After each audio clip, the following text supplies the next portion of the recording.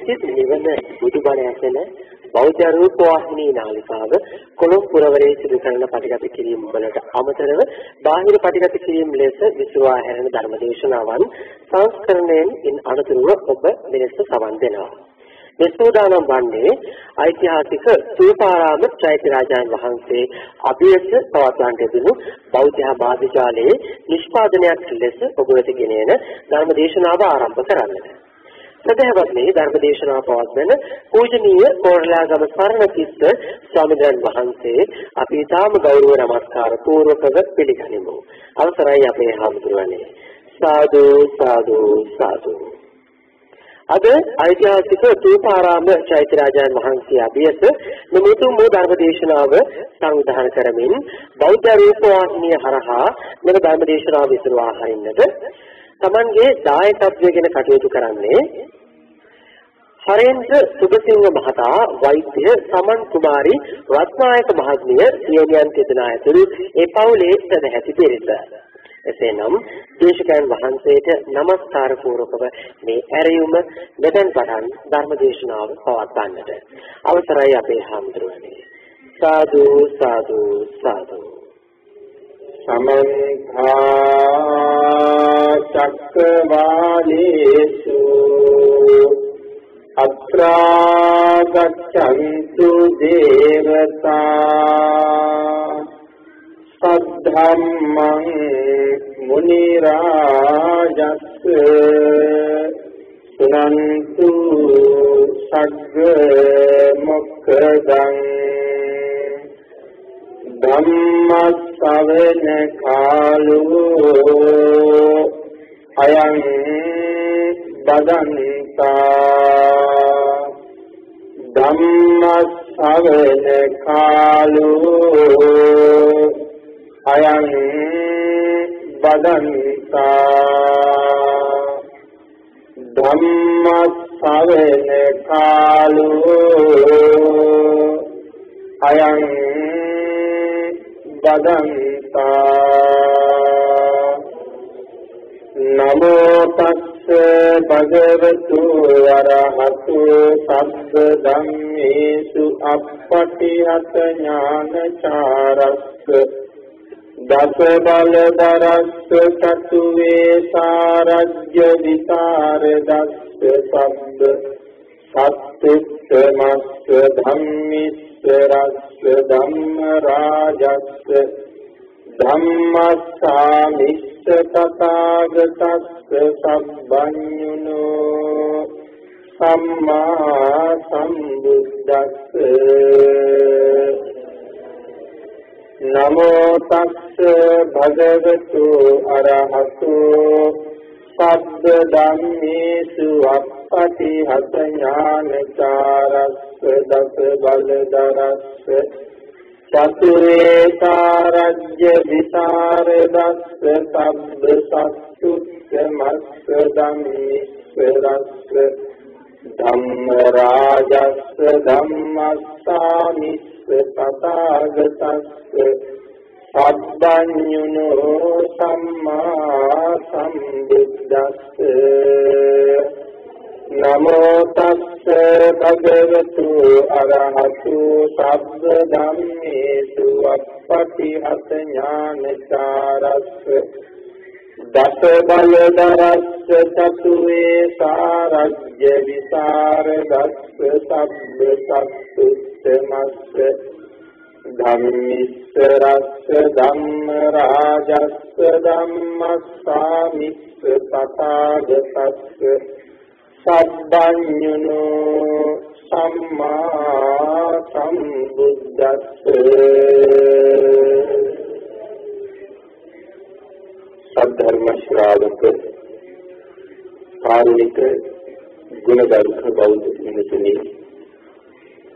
බොහෝම ශ්‍රද්ධාවෙන් යුක්තව මේ සදහවත් පිරිස සවි පැහැදිලි සූදානම් වෙන්නේ තථාගත ශාන්තිනායක සම්මා සම්බුදුරජාණන් වහන්සේ විසින් ලෝක සත්‍යයන් පිළිබඳව අනන්ත අප්‍රමාණ දයාවෙන් කරුණාවෙන් මෛත්‍රියෙන් යුක්තව අවබෝධ කරගෙන දේශනා කොට වදාළ අති උතුම් ශ්‍රී සද්ධර්ම රත්නයෙන් අදමල් රේණුවකටත් වඩා අඩු බොහෝම පුංචි කොටසක් දේශනා කරවගෙන ධර්ම ගෞරවයේ පෙරදරි කරගෙන දේශනාගත ධර්මයේ ශ්‍රවණය කරන්ද එසේ ධර්ම ශ්‍රවණය කිරීමෙන් ලැබෙන අවවාද අනුශාසනා තම තමන්ගේ ජීවිතවලට එකතු කරගෙන වඩාත් නිවැරදි ඉතාමත්ම ධර්මානුකූල වූ මෙලව ජීවිතයක් සකස් කරගන්නත් නිවැරදි වූ ධර්මානුකූල වූ මෙලව ජීවිතයක් තුළින් සුගති ගාමී වූ පරලොව ආයති භවයකින් සැලසීමේ උතුම් පරමාර්ථය ඇතුළයි මේ සද්ධර්ම ශ්‍රවණය කරන්න සූදානම් වෙන්නේ.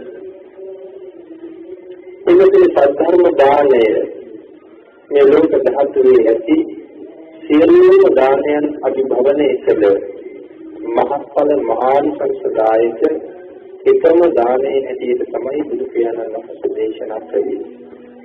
එමනම් අද මේ රැස්වෙච්ච සියලු දෙනාටම ඒ උතුම් සද්ධර්මයේ දානය කරගමින් සද්ධර්ම ශ්‍රවණය කරන්න කැමති ලංකාවාසී ලෝකවාසී සියලුම දෙනාට සද්ධර්ම ශ්‍රවණය කිරීමේ අවස්ථාව උදා කර දෙමින් මේ උතුම් සද්ධර්ම දානමය පින්කම බෞද්ධ ආයුක්වාහිනී මාධ්‍ය විශ්ේ ලංකාවාසී ලෝකවාසී සියලුම දෙනාට ශ්‍රවණය කරන්න දැක බලා ගන්න කටයුතු සංවිධානය කළා. හරේන්ද්‍ර සුබසිංහ මහත්මයා සහ වෛද්‍ය සමන් කුමාරී රත්නායක මහත්මිය විසින් ඒ සදහවතුන් දෙකලයි මේ සද්ධර්ම දානමය පින්කමේ දායකත්වයේ දරමින් සද්ධර්ම දානමය කුසලයේ අත්පත් කරගන්න අය. සද්ධර්ම ශ්‍රවණය කරන සියලු දෙනාටම ඒ තුළින් අප්‍රමාණ කුසල රැස් කරගන්න මඟ සලස්වලා තියෙනවා. ඉතින් අද මේ ශ්‍රේෂ්ඨ පින්කම සිදු කෙරෙන තැන පිළිබඳව අපි කරුණු ටිකක් සාකච්ඡා කළොත් මෙතන වාඩි වෙලා ඉන්න රැස්ලා ඉන්න. අපි සියලු දෙනාම මේ ඇඳිලා ඉන්නේ ඓතිහාසික රූපාරාම චෛත්‍ය රාජානන් වහන්සේ අභියස ලංකාදීපේ සම්මා සම්බුද්ධ ශාසනය ස්ථාපිත කෙරෙන අවස්ථාවේ මුලින්ම ඉදිරිච්ච චෛත්‍ය රාජයා. රූපාරාම චෛත්‍යය. එතන ජීවමාන සම්මා සම්බුදුරජාණන් වහන්සේ වැඩ ඉන්න තැනට මේ පින්කම සිදු කරන්න මේ සදහවත් දෙතල සංසාරේ බොහෝ පින්කම තිබුණාය. මේ බුදුරජාණන් වහන්සේ ජීවමානව වැඩ ඉන්න තැන. ඒ නිසා අපි සියලු දෙනාම ඒ ශ්‍රද්ධාව විතරදී මුදුන්පත් කරගත යුතුමයි. මොකද භාග්‍යවතුන් වහන්සේට පරිනිර්වාණ තුනක් තියෙනවා. එකක් ස්කන්ධ පරිනිර්වාණය. පළවෙනි එක ක්ලේශ පරිනිර්වාණය. දෙවෙනි එක ස්කන්ධ පරිනිර්වාණය. තුන්වෙනි එක ධාතු පරිනිර්වාණය. ක්ලේශ පරිනිර්වාණය ගයාවේ බෝධි මූලයේදීම සිද්ධ වුණා. ස්කන්ධ පරිනිර්වාණය කුසලාරාවේ උපවත්තන සංවේදී සිද්ධ වුණා. නමුත් ධාතු පරිනිර්වාණය කවදද කොතනද කොයි වෙලාවකද මේක සිද්ධ වෙන්නේ කියන කාරණාව තේරුම් කියන්න පුළුවන්කම ඉතින් කාටවත් නැහැ. සිද්ධ වෙන්නේ අහවල් කරයි කියලා ධර්මයේ සඳහන් කරලා තියෙනවා. ඒ නවත රටාවක් ගායී බුදුරජාණන් වහන්සේ ළඟමයි. නමුත් ඒ කවද්ද කියන කාරණාව දන්නේ දන්නේ නැහැ. උදාහරණයක් ඇටියට මෙහෙම සඳහන් කළොත් ලංකාවේ කොහොම සිද්ධ වෙන්නේ? එනිසා මේ ලංකා භූමියේ අද නම් දහස් ගණන් ලක්ෂ ගණන් කෝටි ගණන් බුදුරජාණන් වහන්සේ වෙනුවෙන් වන්දනා කරනවා. පුද පූජා පවත්වනවා. මේ කරන්නේ දෙයක් අසිරිමත් පූජාවක තවත් ශ්‍රේෂ්ඨ අවස්ථාවක් බුදුපත් කිරීම.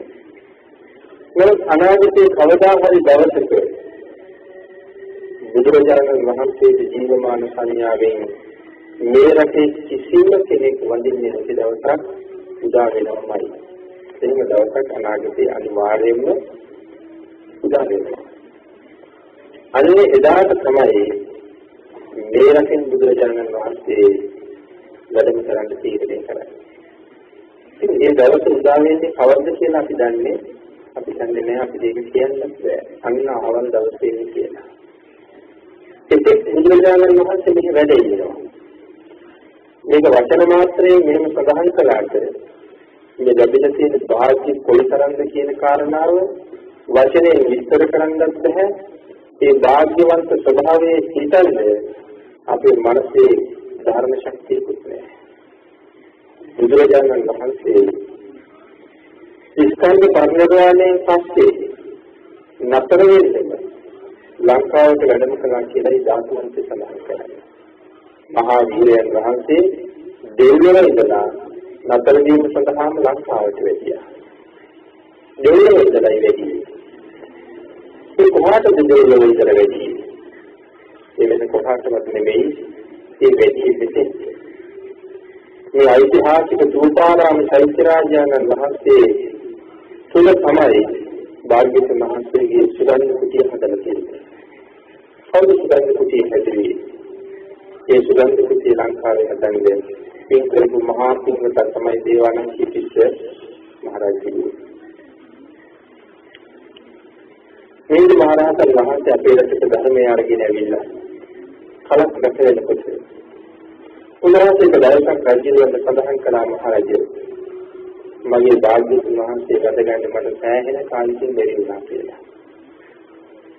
ඒ වෙලාවේ රජු උන්වහන්සේගෙන් අහනවා ස්වාමීනි ඔබ වහන්සේමයි නේද මට සඳහන් කළේ ඔබ වහන්සේගේ ගුරු දේවෝත්තම වූ ඒ මහා වීර සම්මා සම්බුදුරජාණන් වහන්සේ මේ අවුරුදු 230 ගණනකට කලින් පිරිනමක් ගන්නවා කියලා.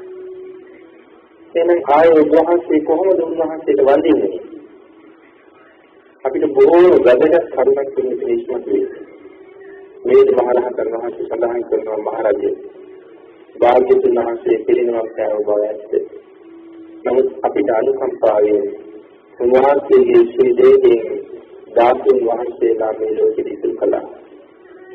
ආන්ගේ ධාතුන් වහන්සේ නමකට වන්දනා කරගත්තා කියලා කියන්නේ ජීවමාන බුදුරජාණන් වහන්සේට බැඳා හා සමානයි. ආන්ගේ කරුණ නිසායි මෙතන ජීවමාන බුදුරජාණන් වහන්සේ වැඩ ඉන්න තැන කියලා සබඳ කළේ. ඒ ජීවමාන හැඟීම ඇති කරගෙනම අපි මේ පූජාව කළොත් අපිට ඒක අතිශයින්ම මහත්ඵලයි මහානිසසදායකයි. ඒ වෙලාවේ රජු යව ස්වාමීනි භාග්‍යවතුන් වහන්සේ අපි කොහොම මෙහාට වැඩමවුද කියලා. සමර සාමණේරයන් වහන්සේගෙන් මේ බව අහන්න කියලා. සාමණේරයන් වහන්සේගෙන් රජු ගරුවා. රජුට සඳහන් කළා මහරජේ මහා නාගරියන බොහොම හොඳට පිළියෙල කරලා සුද්ධ පවිත්‍ර කරන සරසන්නේ. මහා නාගරියනට යන පාරක් සරසන්නේ. අද හැන්දෑවේ මංගල අත්‍යත් සංසගෙන සකල සර්වාභරණයන්ගෙන් රාජශ්‍රී විභූතියෙන් කරතිලා මහා නාගරියනට උපතේ. රජුන්ට ඒ කරුණු ටික මතක් කරලා සාමණේරයන් වහන්සේ මහතෙරුන් වහන්සේ ළඟට ගිහිල්ලා ඒ ස්වාමීන් වහන්සේ මොනවද කරන්නේ? උන්වහන්සේ සඳහන් කළා සාමණේරය. ඔබේ මුක්ත ගංගාව කියන්නේ. අපිට මේ මුක්ත කියලා කිව්වේ. ධර්මසූත මහජනගාව කියන්නේ කියලා කිව්වේ. මහරජතුමා ළඟට ගිහිල්ලා බුදුරජාණන් වහන්සේගේ ශාරීරික ධාතුන් වහන්සේලා මහරජතුමා ගාව වැඩ ඉන්නවා. ඒ ධාතුන් වහන්සේලා භාග්‍යවතුන් වහන්සේගේ පාත්‍රා ධාතුව පිළිගන්නවා. ධර්මසූත රජුණගාවට ගිහින් මේ කාරණාව සඳහන් කරාම පාත්‍රයේ ධාතුන් වහන්සේලා වැඩමවලා සාමණේරයන් වහන්සේගේ පාත්‍රය පිළිගන්නවා. උන්වහන්සේ පාත්‍රය කරගෙන දිවි ලෝකෙට වැඩම කළා. හිමාල පර්වතයේ මුදුනේ අනන්තයේ පිටලා තියෙන ධාතුන් වහන්සේ සහිත පාත්‍රය සම්පත් කරලා නැක්ෂ දෙවියෝ ගියා. දෙවියෝ වැඩලා සක්‍ර දේවේන්ද්‍රයන් වහන්සේට මතක් කළා. සක්‍ර දේවේන්ද්‍රයාණෙනි භාග්‍යවතුන් වහන්සේගේ දකුණු අකුධාතුන් වහන්සේට දකුණු දළදා වහන්සේට ඔබ වහන්සේ වන්දනා කරනවා ඔබ වන්දනා කරනවා දකුණු දළදා වහන්සේ දෙවියෝ පිටුකට කියාවි මට දකුණු අකුදාතු වහන්සේ දෙන්නේ ලංකා භූමියට වැඩ කරනවා බුදුරජාණන් වහන්සේගේ ආඥාවක් තියෙනවා මේ ධාතුන් වහන්සේ වැඩ ඉන්න ඕනේ ලංකා භූමියේ කියලා. උන්වහන්සේ වැඩමවගෙන යන්නයි මම ආවේ. බොහෝම සතුටටපත් වෙච්ච සක්‍ර දේවේන්ද්‍රයන් වහන්සේ දකුණු අතිරාජුන් වහන්සේ tempත් කරන තිබෙන තැනේ සාම ගෞරවනීය විදිහට වැඩමවලා සාමණේර වහන්සේ යටට පිළිගන්නවා. ධාතුන් වහන්සේ වැඩමවගෙන ධර්මාශෝක මහරජුන් ලබාගත් ධාතුන් වහන්සේලා සහිත පාත්‍රයක් අරගෙන සාමණේරයන් වහන්සේ මහා නාගුවෙලට වැටියා.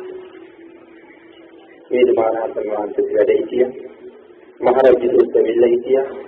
නමුත් රජුන්ට මේ කාරණාව පිළිබඳව ඒ තරම් ලොකු ලොකු අවබෝධයක් නැහැ. ආන් මේ වෙලාවේ රජු අධිෂ්ඨාන කළා. සැබවින්ම භාග්‍යවතුන් වහන්සේ මෙහාට වැඩියනම් මාගේ මේ උතුම් රජු කරඳලා ඉන්නේ රජුන් උතුම් එමේ මේ දාසන් වහන්සේට වන්දනා කරත්වා. මේ ත්‍රිසංගත වහත්ය කිසිම දෙයක් තේරෙන්නේ නැති කෙනෙක්. මේ සැබවින්ම භාග්‍යවතුන් වහන්සේ නම් මේ කිසිවක් නොතේරෙන මේ සත්‍ය මේ කර්මය ළඟ දැනගන්න ඕන කියලා අදිෂ්ඨාන කළා. ඒ රජුගේ හිතේ විතරක් තියෙන දේවල්. දාතුන් වහන්සේ රජුට දක්වන්න වැඩමවගෙන ඉන වෙලාවේ රජු දෙදෙනෙම රජුගේ දෙන්නේ ශේෂයේ කන්නු දිහාට නම්ලා. ඒ සමගම හත්ය දාතු කරන විදිහ පිළිතන ගෙවුවා. රජුන් පුදුමාකාර පුදුමාකාර සතුටක් පුදුම ශ්‍රද්ධාවකින් දේවසිත දේවානන් පිටිස රජු ඉදිරියට පටන් ගත්තා. මහරජුගේ මහතෙරින් වහන්සේගේ අවවාද අනුශාසන ඇතුළු දාස මහන්සිය හස්තියාගේ පිටුදේ වැඩක් දෙවගත්තා. සරසපු පහන් දැල්ලපු තේරිෂද මාර්ගයේ ඔස්සේ මෙන්න මේ ස්ථානයේ තෙනකන් අස්තිරාජයාගේ පිට මතේ දකුණු අපු ධාතුන් වහන්සේ සහිත ධාතුන් වහන්සේලා වැඩම කරගෙන ආවා. ඒකද එදා මේ ස්ථානයේ ඉඟුරු ගායුලින් යහිච්ච භූමියක්. මෙතන ටිකක් සුද්ධ පවිත්‍ර කරලා ධාතුන් වහන්සේ අරගෙන මෙතන තැන්පත් කරන්න අජිත කටයුතු සංවිධානය කළා. නමුත් සියලු කටයුතු ඉවර කරලා ධාතුන් වහන්සේ සහිත කරණුව හස්තියාගේ පිටින් අරගෙන මෙතන තියන්න තැන්පත් කරන්න ලෑස්ති වෙනකොට සඳහන් කරනවා මේ මුළු මහමුණා උයනම සිලවෙන තරමට මේ මුළු ප්‍රදේශයේම ඇහෙන තරමට මේ හස්තියා කුංචනාද කරන්න පටන් ගත්තා කියලා. කෑල් කරන්න පටන් ගත්තා. සජිරට තේරෙන්නේ මෙයා මොන කාරණාවක් නිසා කෑ ගහනවද කියලා. නැවත වතාවක් මේ මහරහතන් වහන්සේගෙන් අහුවා ස්වාමීනි මොහු කෑ ගහන්නේ මොකද? ඒ වෙලාවේ රහතන් වහන්සේ සඳහන් කළා මහරජිනී තමන්ගේ කුඹයට වඩා පාසු තැනක තමන්ගේ පිටමතට වඩා හිසට වඩා පහත තැනකින් ධාතුන් වහන්සේ තැන්පත් කරනවට මෙයා අකමැතියි. ඒ බවයි මේ ප්‍රකාශ කරන්නේ. අජීව වේදනාවෙන් ලයි ලහි නැවත වතාවක් මෙතන උස් ස්ථානයක් උස් බිමක් හදලා ඒවට ධාතුන් වහන්සේ තැන්පත් කරලා තමයි චෛත්‍යරාජයන් වහන්සේගේ ඉදිකිරීම කටයුතු අප්‍රමාණ ශ්‍රද්ධාවෙන් ආරම්භ යුතුයි. චෛත්‍ය රාජයාණන් වහන්සේ නිර්මාණය කරන මේ ධාතු ගහද යති. භාග්‍යතුන් වහන්සේගේ දක්ෂිනා කුඩාතුන් වහන්සේ වඩාගෙන වන රජු සූදානම් වෙන මොහොතේ රජුගේ හිතෙන් අහසට පැනනගෙන ධාතුන් වහන්සේ සහිත කරනුව මේ සූපාරාම චෛත්‍ය රාජයාණන් වහන්සේට ඉහළින් ලෞතර බුදුරජාණන් වහන්සේ නමකට විතරක් දක්වන්න පුළුවන්.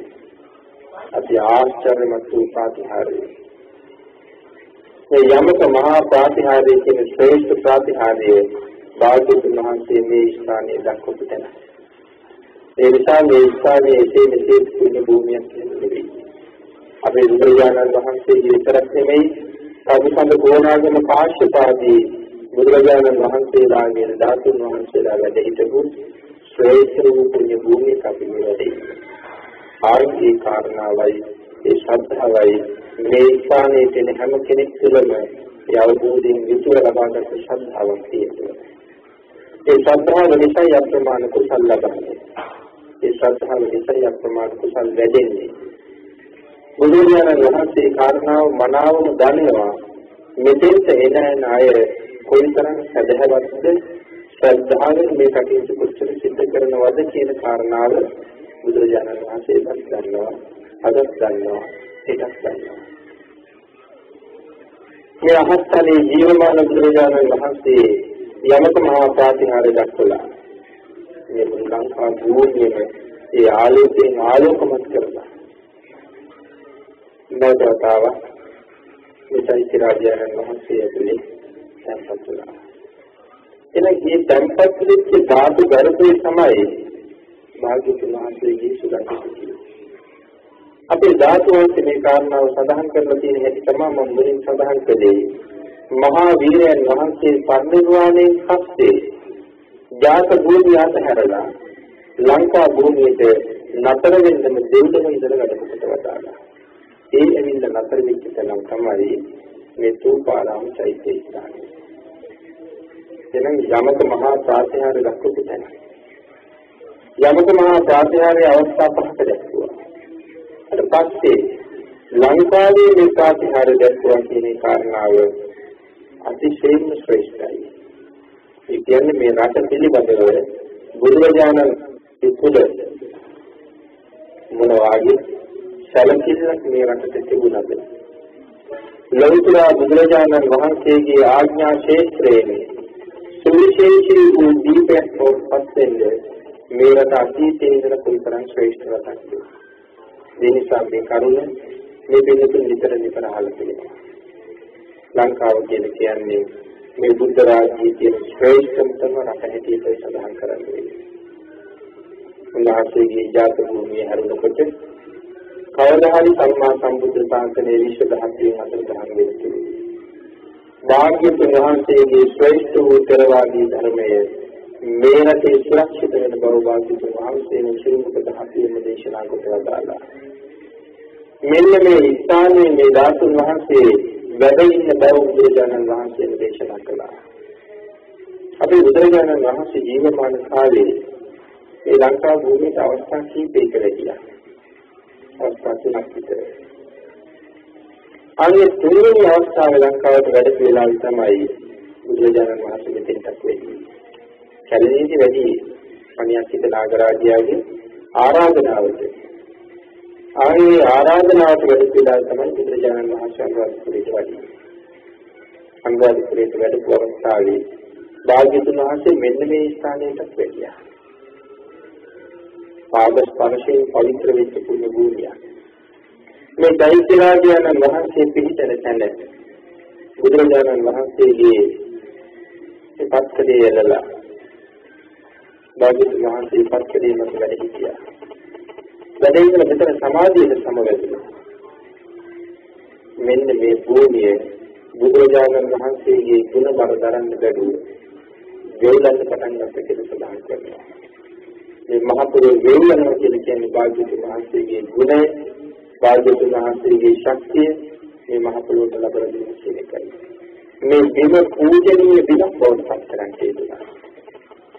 පූජනීය බිමක් බවට පත් කරලා බුදුරජාණන් වහන්සේ සංසාරේ බොහෝම පිංකතු විදි පුත්‍රයෙකුට ආමන්ත්‍රණය කළා. ආන්ගේ දිව්‍ය රාජයන්න් වහන්සේට මේ චෛත්‍ය ඉදිරියට තැන බාර දුන්නා. ඒ දිව්‍ය පුත්‍රයා තමයි පුතුරු පාලකින නමින් හඳුන්වන්නේ. උන්වහන්සේ බාර කළා අනාගතේ භාග්‍යතුන් වහන්සේගේ දක්ෂිණ ධාතුන් වහන්සේ වැඩ ඉන්න තැන. දේවානම් තේජස නම් මහා පුණ්‍යවන්ත රජෙක් මෙතන මේ මහසෑය ඉදි කරන තුරු මේ භූමිය ආරක්ෂා කිරීමේ වගකීම ඔබට බාරයි. චෛත්‍ය ඉදිකලාට පස්සේ ධාතුන් වහන්සේ වැඩ ඉන්නා තාක්කල් ධාතුන් වහන්සේ සහිත චෛත්‍ය ආරක්ෂා කිරීමත් ඒ දිව්‍ය රාජයාටම බාරයි. උන්වහන්සේ මේ ස්ථානයේ නිරන්තරයෙන් ගැවසෙනවා. උන්වහන්සේ මේ ස්ථානයේ නිරන්තරයෙන් වැඩ ඉන්නවා. ඒ භාග්‍යතුන් වහන්සේගේ ආරක්ෂකයන් මෙතන. ඒ නිසා මෙතෙන්ට යන්නේ නැහැ. මෙතන වදින පුදන අය, මෙතන පුද පූජා කරන අය, ඒ සියලුම දෙනා උන්වහන්සේ දකිනවා. ශ්‍රද්ධාවෙන් එන අය දන්නවා. එන්නේ වෙන නිසා එන අය දන්නවා. කරන්නන් වාලි කරන අය දන්නවා. සියලුම කරුණු පිළිබඳව උන්වහන්සේ හොඳට දකිනවා. පින් කරගන්න අය පිළිබඳව උන්වහන්සේලා සතුටු වෙනවා. පිනක් නැති වෙන අය පිළිබඳව උන්වහන්සේලා ලොකු සතුටක් වෙන්නේ නැහැ. මහා පින් ලබන්න කියන අවස්ථාව. මේ රටේ ඉපදිච්ච මිනිස්සුන්ට හම්බෙච්ච මේ භාග්‍යය මේ විශ්ව ධාතුවේ වෙන කාටවත් වෙන කාටවත් නෑ. බුදුරජාණන් වහන්සේගේ ආඥා ශේෂ්ත්‍රය සංකල්පවත් කෝටි ලක්ෂයයි. සෞරග්‍රහ මණ්ඩල කෝටි ලක්ෂයක්, චන්ද්‍ර මණ්ඩල කෝටි ලක්ෂයක්, ඒ බුදුරජාණන්ගේ පාන්නේ. නමුත් ඒ කොහෙවත් මේ වාගේ ලකිනා රටක් මේ සක්වලේ තියෙන මේ ලංකා භූමිය බුදුරජාණන් වහන්සේගේ කරුණාවෙන්ම ශ්‍රේෂ්ඨත්වයට පත් වෙච්ච තැන. ඒ නිසා මේ රටේ ඉපදිච්ච අය අප්‍රමාණ වාසනාවන්ත පිරිසක්. මේ ස්ථානයේ විතරක් නෙමෙයි මේ රට වෙනුවෙන් භාග්‍යතුන් වහන්සේ තමන් වහන්සේගේ බුද්ධ ශ්‍රී දේහයේ වැඩ සිටු සර්වඥ ධාතුන් වහන්සේලාගේ විශාල ප්‍රමාණයක් සහ විශාල ධාතුන් වහන්සේලා මේ රටයි ලැබෙන්න ඕනේ කියලා භාග්‍යතුන් වහන්සේ අදිෂ්ඨාන කෙරුවේ. ඒ නිසා අපිට එහා පැත්තේ තියෙන රුවන්වැලි මහ චෛත්‍ය රාජානන් වහන්සේගේ ඉහළ අහසේ භාග්‍යතුන් වහන්සේ මේ රටේ දෙවන වතාවටත් යමක මහා ප්‍රාතිහාර්ය දැක්වුවා. මේක පහළ වෙන සෑම බුදුරජාණන් වහන්සේ නමක් ධාතුන් වහන්සේලා විසිරින් අදිෂ්ඨාන කරන්නේ නැහැ. සමහර භාග්‍යතුන් වහන්සේලාගේ ධාතුන් වහන්සේලා ඒක ගැනම පවතිනවා. සමහර බුදුරජාණන් වහන්සේලා විසිරින් අදිෂ්ඨාන කරනවා.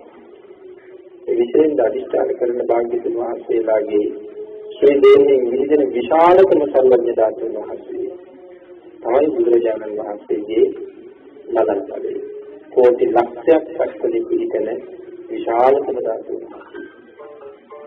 වෙන කොහාටවත් නෙමෙයි ලැබුණේ. දෙවියන්ට බබලෝටත් නෙමෙයි ලැබුණේ. ජාත භූමියේ නෙමෙයි වැඩ සිටියේ. වැඩ ඉන්න ලංකාවේ. ඒකයි මම කියේ විශාල වශයෙන් විශාල වූ ධාතුන් වහන්සේලා සහිත වැඩි ධාතුන් වහන්සේලා ප්‍රමාණයක් මේ වැඩේ ඉන්නේ. බුදුරජාණන් වහන්සේගේ කරුණාව වැඩි මේ රටට මේ රටට තියෙන නිසා. ඒ නිසා මේ රටේ ඉපදෙන අපි පුණ්‍යවන්තයි.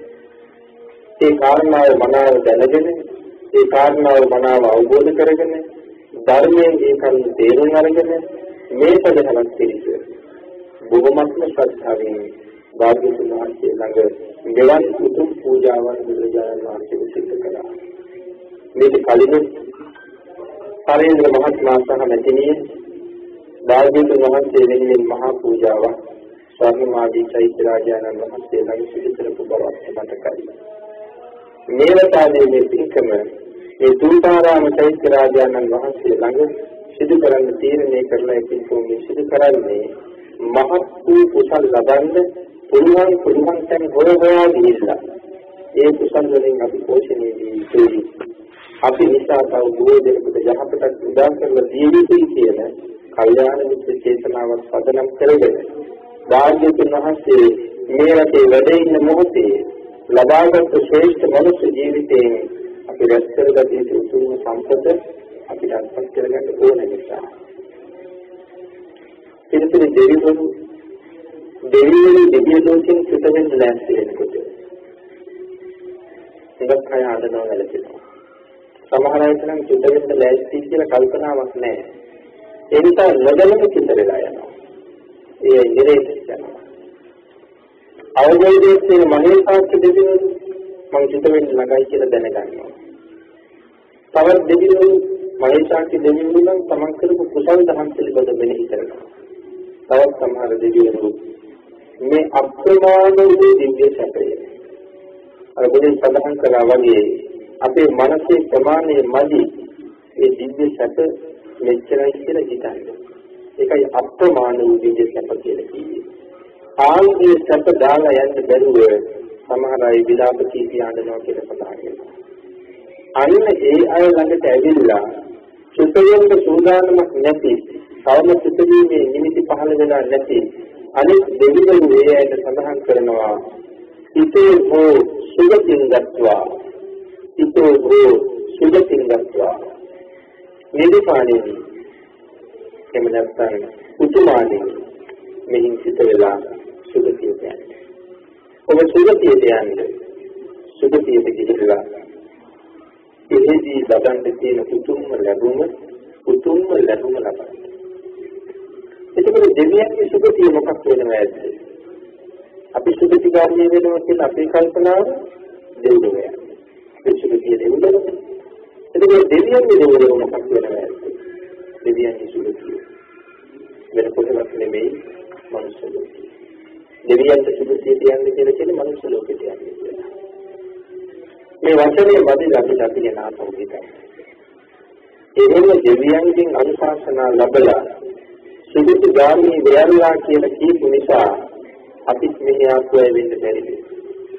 මේ පිළිස අතර මේ රටේ ඉන්න මිනිස්සු අතර දෙවියන්ගෙන් සුදුසියට යන්න කියන ආරාධනාව ලබාගෙන ආපුවයි කී දෙනෙක් ඇද්ද? ඉතා විශාල වශයෙන්. එතකොට අපි මෙහාට ආවේ මොකටද? ඇයි දෙවියන්ගේ සුදුසිය ඉන්නේ මේක?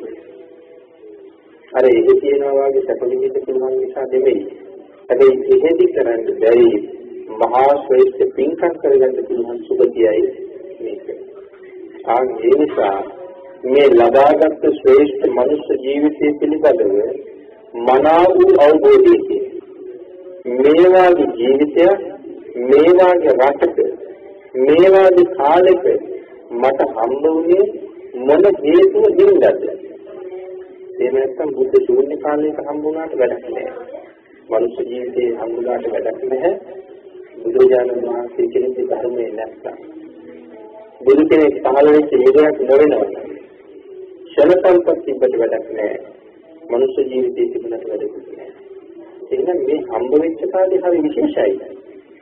හොඳට ක්ෂණ සම්පත් හම්බුණා, ස්ත්‍රීනව කන්න ඇහෙනවා කතා කරන්න පුළුවන්. මේ පින්කම් ගැන හොඳට හිතන්න පුළුවන්. ඒ වෙනුවෙන් දුවන්න පරිද්ද වේසෙන්න මහන්සි වෙන්න කැපකිරීම කරන්න පුළුවන්. හොඳට ක්ෂණ සම්පත් හම්බ වෙලා තියෙනවා. බුද්ධාන්තරය හම්බ වෙලා තියෙනවා. නිර්මලම භාග්‍යතුන් වහන්සේගේ ධර්මයේ කවමත් කවමත් පවතිනවා.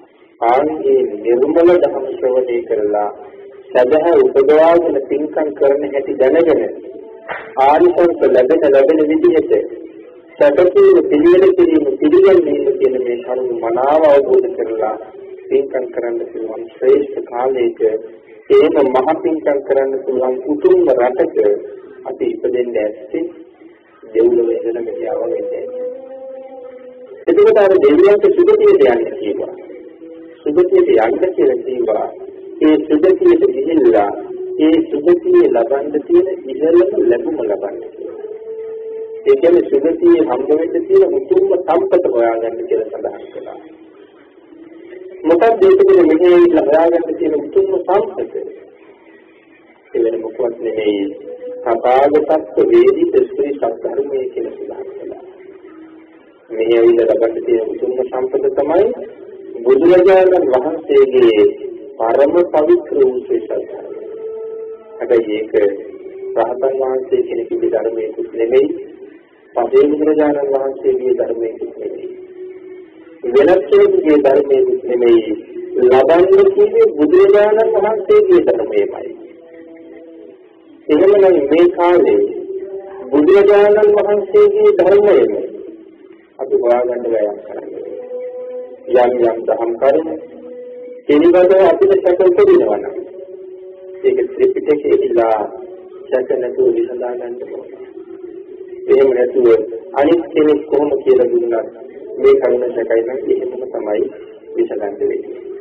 ධර්මයේ නමින් වෙනම කොහොමද වැඩකුත් නැහැ. ධර්මයේ වගේ නමුත් මිනිස්සුන්ට ඉතාම දැනෙන හොඳට දැනෙන මිත්‍යා දෘෂ්ටි අහගත්ත කියලා අපිට වැඩක් වෙන්නේ වැඩක් වෙන්නේ නැහැ. අපි හොයාගන්න ඕනේ භාග්‍යයෙන් තුනමස්සේගේ ධර්මයමයි. ඒකයි ලබන්න කියපු ඉහළම ලැබුම. එමනම් මේ ධර්මය ලැබිලා තියෙන කාලයක් ඒක ලබන්න පුළුවන් සියලුම සුදුසුකම් සහිත කාලයක් මේක. ආන්ගේ ධර්මයේ ලබලා මේ ශ්‍රද්ධාවම උද්දීපනය කරගෙන මේ සූපාරාම චෛත්‍ය රාජානන් වහන්සේ ළඟට. ඒනත්තන් ස්වර්ණමාලී මහසෑය ළඟට. විජයශ්‍රී ජයශ්‍රී මහා බෝධිරාජානන් වහන්සේ ළඟට. මිරිසවැටි මහා චෛත්‍ය ළඟට. අනුරාධපුරේ නම් එනවනම් තවත් එහෙම තැන් තවත් එහෙම තැන් මේ පුණ්‍ය භූමියේ බොහෝ තියෙනවා. මේ යන්නේ ජීවමාන බුදුරජාණන් වහන්සේ ළඟටමයි.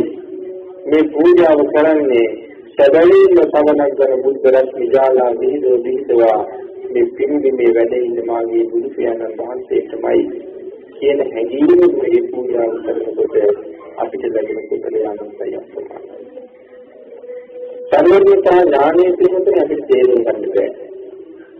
එනම් අද මේ ශ්‍රේෂ්ඨ පින්කම භාග්‍යවතුන් වහන්සේ වෙනුවෙන් බොහෝම අලංකාර පංචකයන් පූජා කරලා බුදුරජාණන් වහන්සේට විවිධාකාරයෙන් ඉලම්පත පූජා ආදී සිද්ධ කරලා මේ මහා පින්කමක් සංවිධානය කරගෙන මේ පිරිස සර්වඥතා ඥානයෙන් නමින්ම දකිනවා මේ පූජාව අද මේ අවස්ථාවේ මෙතන සිද්ධ වෙන බව බුදුරජාණන් වහන්සේ හරියටම වේලාව කලාව සහිතවම දන්නවා. පිරිනමන පාන්න කලින් භාග්‍යවතුන් වහන්සේට දැක්කා. පූජාව කරන අයගේ නම, පූජාව කරන අයගේ ශරීර ස්වභාවය, මේ ශරීරයේ වර්ණය පවා භාග්‍යවතුන් වහන්සේ භාග්‍යවතුන් වහන්සේ දන්නවා. ශ්‍රද්ධාවේ ප්‍රමාණයක් දන්නවා. අපේ බුදුරජාණන් වහන්සේට තිබුණා තථාගත බල 10ක්. මහා සීහනාද සූත්‍රයේ තමයි මේ තථාගත බල පැහැදිලි කරලා තියෙන්නේ. එතන තියෙනවා හය වෙනි තථාගත බලය. පුද්ගලයාගේ ශ්‍රද්ධාව දිනු වුණු නూరు බව දන්නා මේ පුද්ගලයාගේ දැන් ශ්‍රද්ධාව වැඩිලයි තියෙන්නේ. මොහොතේ ශ්‍රද්ධාව වැඩිෙන්න තව මෙච්චර කාලයක් යනවා. ආන්නේ දිනු වුණු නూరు බව බුදුරජාණන් වහන්සේ මනාවම දන්නවා. ඒක උදාහරණයක් අපි සඳහන් කළා. අපි වෙනසට මතකයි ප්‍රථම රහත් හැටනම් ඉස්ලාම ධර්ම ප්‍රචාරය සඳහා පිටත් කරලා අපි බුදුරජාණන් වහන්සේ ධර්ම ප්‍රචාරය සඳහා වැඩම කළා. ඒ බුදුදහම පැත්තට. බුදුරජාණන් වහන්සේ බුදුදහම පැත්තට වඩින අතර වනලයක භාග්‍යතුන් වහන්සේ ටිකක් නිවේද ගන්න නතර වුණා. එහෙම විවේක ගනිමින් ඉන්නකොට බුදුරජාණන් වහන්සේ මේ කලාව ඇතුලේ මුණ ගැහෙනවා කරුණ උපේක්ෂා. කරුණ කුමාරයෝ සිත්තේ. කවුද මේ? ඒගොල්ලන්ට කියවා වර්ධවන්තිගේ කුමාරයෝ කියලා. මේක මේ තරුණ වයසේ අය අවිවාහකාරය. ඒක මේ මොකද මේ කලාවට ඇවිල්ලා තියෙන්නේ? මේ කලාවට ඇවිල්ලා තියෙන්නේ විනෝද වෙන්නේ. ඒ නිසා මේ සිද්ධාගේ 29 දෙනෙකුටම එක්කෙනෙක් තරුණියක් හිටියා. එක්කෙනෙකුට හිටියේ නෑ. ඒ ඔළුට විතරක් තරුණියක් නැතුව මේ ගමන ගිහිල්ලා තමයි කැමති විදිහට විනෝද වෙන්න බෑ. ඒ නිසා ඔහුගේ අවශ්‍යතාවය සම්පූර්ණ කරන්න කාන්තාවක් මුදලට ගත්තා. එතකොට මේ අද අපි කතා කරන හැටි කියුවොත් මේ සල්ලාලක මේ ජීවිත පිරිසක්. කියන්නේ පිරිස දෙවල. නමුත් මේ අර මුදලට ගත්ත කාන්තාව මේ අයගේ ප්‍රමාද දෝෂය දැකලා මේ අයගේ සියලුම රංගදී පොලිසිය අරගෙන කරලා ගියා. එක්කරගෙන ආපු තරුණියන් ටික එක තැනක රඳවලා මේ කුමාරයෝ ටික අර බඩු පැහැරගත්ත තරුණිය හොයාගෙන යන අතරේ තමයි භාග්‍යවතුන් වහන්සේ ඉන්නවා බුදුරජාණන් වහන්සේ ගාවට කිච්චුනේ මහත් ලොකු ශ්‍රද්ධාවකින් නෙමෙයි. උන්වහන්සේ ගාවට කිච්චුනේ කාන්තාවක් කියලා දැක්කේ නැද්ද කියලා අහන්නේ. ඒක යෙන්නේ ස්වාමීනි මේකෙන් කාන්තාවක් කියලා දැක්කේ නැද්ද කියලා. බුදුරජාණන් වහන්සේ දන්නවා මේ සිත් දෙනාම මහා ප්‍රඥාවන්තයි. ඒක භාග්‍යවතුන් වහන්සේ හොඳටම දන්නවා. ප්‍රඥාවන්තයි වගේම මෙයාට හොඳ ශ්‍රද්ධාවක් තියෙනවා. ඒ ශ්‍රද්ධාව දැන් දිනු කරන්න පුළුවන් වෙලාවයි. අන්න ඒ නිසාම තමයි භාග්‍යවතුන් වහන්සේ මේ පිළිසකින් ඇහුවේ දරුවේනි කාන්තාවක් ගැන හොයනවට වඩා තමන් ගැන හොයන එක වටින්නේ නැද්ද? මහා ප්‍රඥාවන්ත නිසා සඳහන් කරන ස්වාමීනි අනුන් ගැන හොයනවට වඩා තමන් ගැන හොයන එක නම් බොහොම වටිනවා. එහෙනම් ඔතන වාඩි වෙන්න. මේ පිළිස භාග්‍යතුන් වහන්සේ වචනේ කියහා අය කොහෙවත් කියන්නේ නැහැ. ඒ නිසා ඒ පිළිස එතනම වාඩි වුණා. බුදුරජාණන් වහන්සේට ධර්ම දේශනා කළා. අන්න ඒ පිළිස බුදුරජාණන් වහන්සේ ළඟ මාර්ගඵල ලැබුවා. එහෙමනම් භාග්‍යතුන් වහන්සේ දන්නවා මගඵල ලබන්න තින් තියෙනවා මේගොල්ලන්ට. ශ්‍රද්ධාව දැන් මේ තරමට වැඩිලා ඉන්නේ. ඒව පිළිසක් අපිට හම්බුනා නම් අපි ඇයි ඒගොල්ලන්ට බණ කියන්නේ? නෑ. අපි දැන් දැන් වල ඉඳලා බණිනවා. සල්ලාගේ පිළිසක්. කවක් කියන්න පුළුවන් වචන කියලා බණිනවා. සමහරවිට ගමේ ඉන්නේ අපි ශ්‍රද්ධාව නෑ කියලා කියන්නේ. නිරන්තරයෙන් ජීවත්වන් කියලා අපි සඳහන් කරනවා. මේ වාගේ සල්ලාලයන් කියලා සඳහන් කරනවා. අපි සමහරවිට කියන්නේ එළවටත් නැති මෙලොවටත් නැති අය කියලා කියන අය. එහෙම පිරිසක් ඇවිල්ලා එකතු වෙලා ධර්ම දේශනාවකට ආරාධනාවක් කළොත් ඉතින් ආරාධනාව ලබපු අපි මේ තරම් සැලකන්නේ වටා පිටාවේ දකින්න කියන අය ඒ ඒකට නෑ යන්නේ. සමාජලාට ඒගොල්ලෝ ඔබ වහන්සේ ධර්ම දේශනාවට වඩින්න කියලා සියලු දෙනා මොකද ඇවිල්ලා හොඳට ඒ සුරාවෙන් සම්පායන් වෙන්න පුළුවන් බණ අහන පිළිසු ගොඩක් නැහැ. අපිට එහෙම හැංගෙනවා. නමුත් බුදුරජාණන් වහන්සේ දෙන්නේ හිතන්නේ මොකද භාග්‍යතුන් දන්නවා මේගොල්ලෝ ජීවන ජීවිතේ මොකද්ද? නමුත් සංසාරේ කරගෙන ඉඳ තියෙන පින් කොච්චරක් තියනවද? ඒකේ ප්‍රතිඵලය මේගොල්ලන් කොයි මොහොතේ ලබන්නේ? ආන් ඒ සාපේ පුජ්‍යලයාගේ ශ්‍රද්ධාව දියුණු වුණු නූණු බව දැනගැනීමේ පුදුමාකාර නුවණක් භාග්‍යතුන් වහන්සේට තිබුණා. ඒක තමයි හරියට කතා කරලා ආන් ඒසා ශ්‍රද්ධාව දිහා බලලා ඒගොල්ලන්ට ධර්ම දේශනා කළා. ඒකට තවත් උදාහරණයක් සඳහන් කළොත් අපි වෙනත් අහලා තියෙන රූප නන්දා කියන ඉච්ඡුයි. ඒ තීරණය කරනවා මගේ වැඩිමානු සහෝදරයෙක් එවිදි වුණා. මේ භාග්‍යතුන් වහන්සේගේ ඥාති සහෝදරිය. ඒ සහෝදරයාගේ පුත්‍ර රත්නයක් එවිදි වුණා. ඒ කියන්නේ රාහුල කුමාරයා. මගේ ස්වාමියාත් එවිදි වුණා. මගේ අම්මත් පැවිදි වුණා. මගේ පොතේ හැමෝම පැවිදි වෙලා. එහෙමනම් මම විතරක් පැවිදි නොවී මොනවද කරන්නේ? මත් පැවිදි වෙනවා. ඒ දිනේ කරන මෙහිණාරාමයේ කියලා පැවිදි වුණා. ඒ පැවිදිනේ ශ්‍රද්ධාවෙන්ද? ශ්‍රද්ධාවෙන් නෙමෙයි. අර සියලු දෙනාම පැවිදි වෙච්ච කියලා. සියලුම වික්ෂුණීන් වහන්සේලා බණහන් දෙනවා. ගිරියෙන් ඇසුරු කරන අය බණ අහන්නේ. හැමෝම බුදුරජාණන් වහන්සේගෙන් බණ අහලා ඇවිල්ලා බුදුරජාණන් වහන්සේ පිළිබඳව වර්ණනා කරනවා. දැන් මේ රූප නන්දාව කල්පනා කරනවා මේ අය මේ වර්ණනා කරන්නේ මගේ සහෝදරය ගැන. නමුත් ඇය අහලා තියෙනවා බුදුරජාණන් වහන්සේ රූපයට නිග්‍රහ කරනවා කියලා. රූප නන්දාව හරියම ලස්සනයි. ඒ නිසා තමන්ගේ රූපයට නිග්‍රහ කරයි කියලා හිතන තමයි බණ අහන්න යන්නේ නැති. බුදුරජාණන් වහන්සේ රූපයට නිග්‍රහ කරනවා කියලා කියන ලක්ෂණ ලක්ෂණ අය ඔක්කොම බුදුරජාණන් වහන්සේ දොස් කියනද? එහෙම දොස් කිව්වේ නෑ. භාග්‍යවතුන් වහන්සේ දේශනා කළේ මේ රූපය පිළිබඳව අවබෝධ කරගන්න කියලා. අවබෝධ කරගන්න. තේරුම් අරගන්න. මේව නැත්තම් සමහර වෙලාවට අපි ලක්ෂණ රූපයක් ලබන්නේ පෙර සංස්කාරයේ ඒ වෙනුවෙන් වෙනම කිත් කරලා තියෙනවා. අස්තර රූපයක් ලබන. වෙනම කිත් විශේෂයෙන් ජීවිතයක් කියන්නේ. දේශ කෙරෙන්නේ නැහැ. ආනේ මාය ඊළඟ බවල් බොහොම ලස්සන රූප ලබනවා. ඒක තව තව ජීවිත ගොඩක් ධර්මයේ තියෙනවා.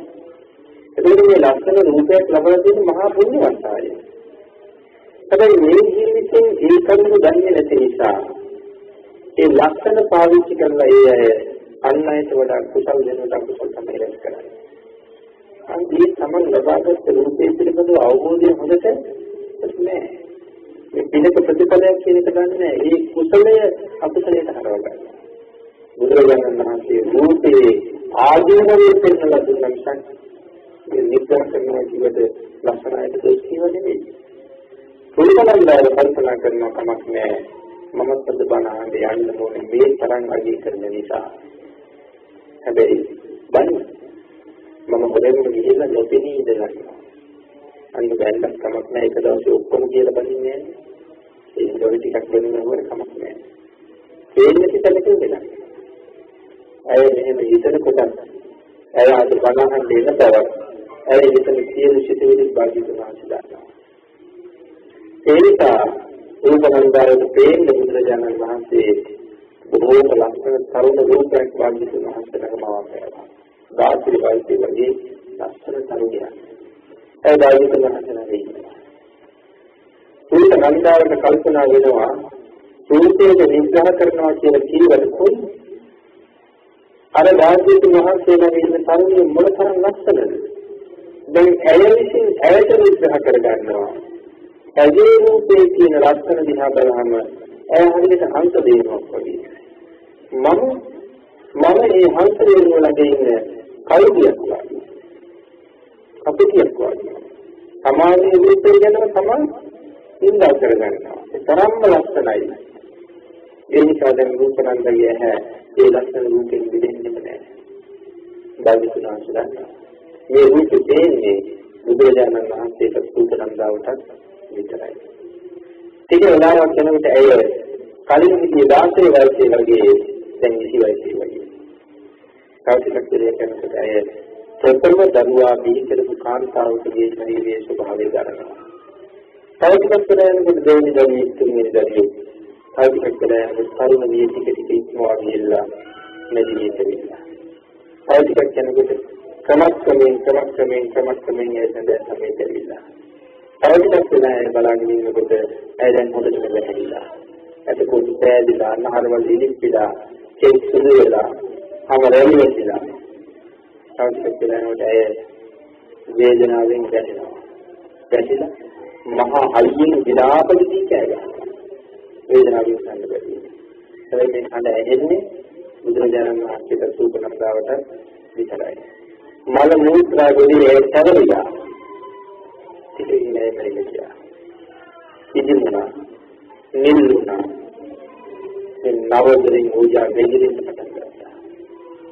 සූපනම්දාව මෙන්න මේ දර්ශනීය දිහා බලාගෙන ඉඳලා තමන්ගේ මෙච්චර වෙලා අගය කර කර හිටපු රූපේ පිළිබඳව ජීවිතය පිළිබඳව පුදුමාකාර කලකිරීමක් ඇති වුණා. ආම්බාගිත මහත් දන්නවා රූපනන්දා දැන් යථා ස්වභාවය අවබෝධ කළා. ආන් මේ වෙලාවේ බුදුරජාණන් වහන්සේ ඇයට දේශනා කළා. දේශනාව කරගෙන යනවා ඇයට හිතෙන්නේ ඇයටයි දේශනා කරන්නේ කියලා. ඒක බුදුරජාණන් වහන්සේ හැටි. ලක්ෂයක් භාග්‍යතුන් වහන්සේ ළඟ බණ අහනවා නම් ඒ ලක්ෂයෙන් සිත දැනගෙනයි බණ කියන්නේ. ඒ පුද්ගලයාගේ ශ්‍රද්ධාව දන්නවා ඒ පුද්ගලයාගේ වීර්යය දන්නවා.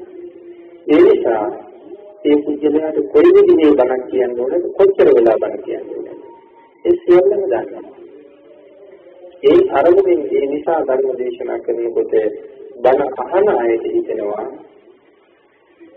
මටමයි බණ කියන්නේ. අද නම් මටමයි දේශනා කරන්නේ. මගේ මූල දිහා බලාගෙනමයි දේශනාව කරන්නේ. බුදුරජාණන් වහන්සේ ධර්ම දේශනා කරනකොට එහෙමයි. තමන්ගේ මූල දිහා බලාගෙන ඉන්නවා කියලාමයි හිතෙන්නේ. හරියට භාග්‍යතුන් වහන්සේ කොයි වගේ දෙයකද? ඒ සෞපමාව කරන භාග්‍යතුන් වහන්සේ සම්බන්ධයි කියලා. සම්බන්ධයි. මෙතන ඉඳලා බලන්න අපි දිහා බලාගෙන. දෙවෙනි ඉඳලා බලන්න අපි දිහා ඒක බලාගෙන. තවත් කෙනෙක් ඉඳලා බලන්න ඒක අපි ගාවහන්නේ. අපි වාහනේ කෙනෙක්ට දැන් හදා තියෙනවා. දැන් අපි වෙන රටකට ගිහින් පොඩි හඳ තේන රටකට එතකොට හඳ ඉන්නේ අපි දිහා බලන්නේ. එහෙමනම් මේ භාග්‍යතුන් වහන්සේ තමයි. හඳ වගේ. චන්ද්‍රය වගේ භාග්‍යතුන් වහන්සේ හැම කෙනා දිහාම දකින්න බලනවා. හැමෝටම දේශනා කරනවා කියලා හිතෙන්නේ. අන්න ඒ නිසා බුදුරජාණන් වහන්සේ හොඳටම ඒකේ පුද්ගලයාගේ ශ්‍රද්ධාව දියුණු වෙලා කියන ප්‍රමාණය ප්‍රමාණය හොඳට දන්නවා. ඒ ප්‍රමාණයට අපි කරන මේ පින්කමෙන් අපිට අනුමෝදන් වෙන්න තියෙන කුසල මේ වෙනකොට භාග්‍යවතුන් වහන්සේ පූජාව ඉවසලා අපිට කුසල් අනුමෝදන් වෙලා ඉන්නවා. අද මොකක්ද අපි කරපු පින්කම? අද කලේ භාග්‍යවතුන් වහන්සේ එදා මේ පින්කම මං කරන බව දැනගෙන මට ලැබෙන වර කුසල් ප්‍රමාණය භාග්‍යවතුන් වහන්සේ අනුමෝදන් කරලා තියෙනවා. ඒ කුසලයේ මේ විශ්වයේ තියෙනවා. අද තමයි ඒක මට හම්බ වෙන දවස. එනම් භාග්‍යවතුන් වහන්සේ අපේ පින්කම දැන් කියන්නේ නෙවෙයි. නමුත් අපි මේ පින්කම ජීවමාන බුදුරජාණන් වහන්සේ වැඩ ඉන්නවා කියලා කල්පනා කරමින්ම පෙර බුදුරජාණන් වහන්සේලාගේ දදාතුන් වහන්සේලා තැන්පත් වෙනවා. පෙර බුදුරජාණන් වහන්සේලාගේම පාද ස්පර්ශයෙන් පවිත්‍රත්වයට පත් වෙච්ච මේ උතුම් පුණ්‍ය භූමිය තෝරගෙන ඒ පින්කම අපි මෙතනදීම සම්පූර්ණ කළා. මෙතනම සිදු කරගන්න යෙදුණා. එහෙමනම් අපි ඊළඟේ පුදුම වාග්යක් පුදුම කුසලයක් සංසාරේ කරලා තියෙනවා. අනිත් කාරණාවේ සතුට තමයි බුදුරජාණන් වහන්සේගේ ජීවිතයේ නේත්‍ර යුග්මේ භාග්‍යවතුන් වහන්සේ එන මම දැක්කා.